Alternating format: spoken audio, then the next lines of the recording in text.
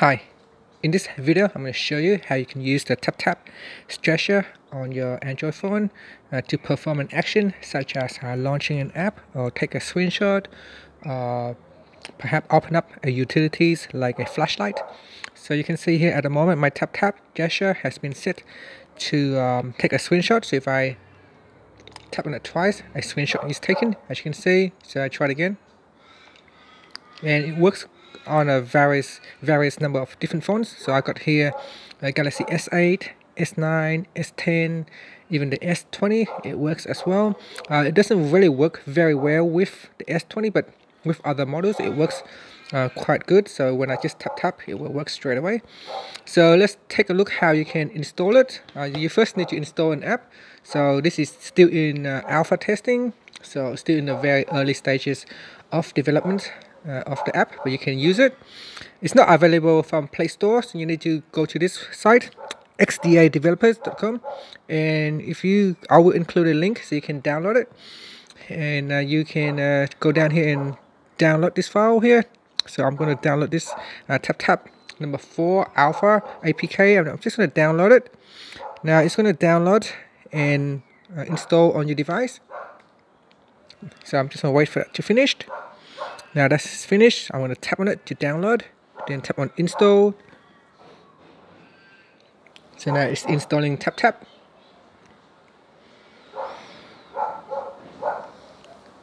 So we're just going to wait for it to install. Okay, it's finished. I'm going to tap on open. And then we need to go into accessibility. So tap on here at the top.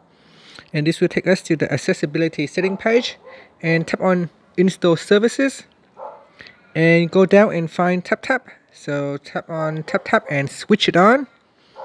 And then tap on allow. It says it needs to view and control screen view and perform actions. If you're happy to provide the permission for the apps to access this too tap on allowed. And then I'm just going to tap on the back key to go back to the app. So so so there's the app right there. So in the tap tap app you can tap on gesture and at the moment the sensitivity is not working but you can uh, tap on device model and choose which one. At the moment you can see it is um, currently tested on the pixel uh, device but that's okay. It still work on your Samsung Galaxy device as well or any of other of your Android phone. And I'm going to tap on back. What is important is this um, actions.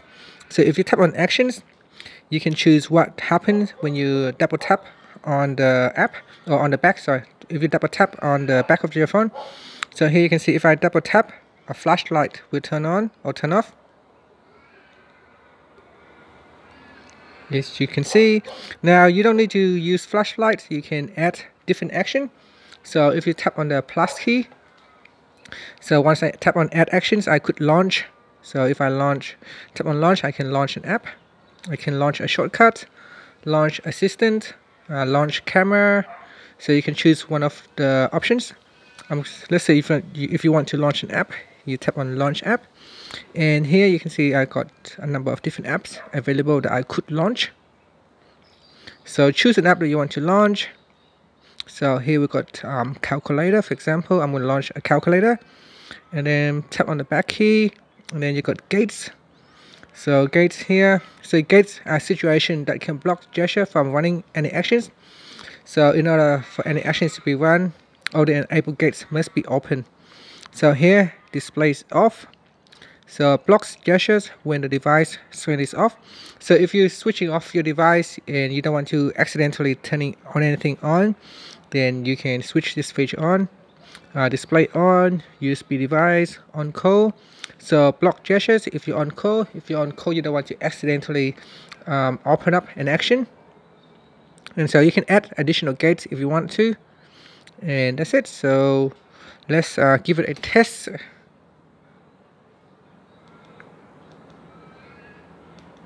So you can see the calculator has been open